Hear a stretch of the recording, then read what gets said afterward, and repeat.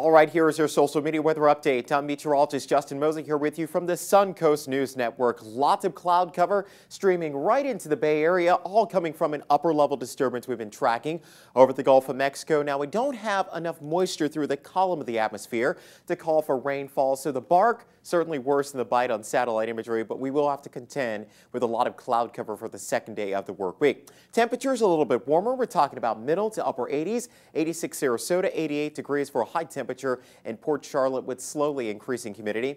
Next seven days, rain chance pretty much nil Tuesday and Wednesday. Increasing humidity that will lead to a slight chance for a few showers as we head towards Friday, Saturday, Sunday, and Monday.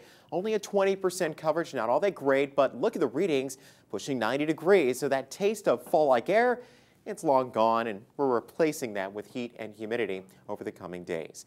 That is your weather update. I'm meteorologist Justin Mosley here with you from the Suncoast News Network.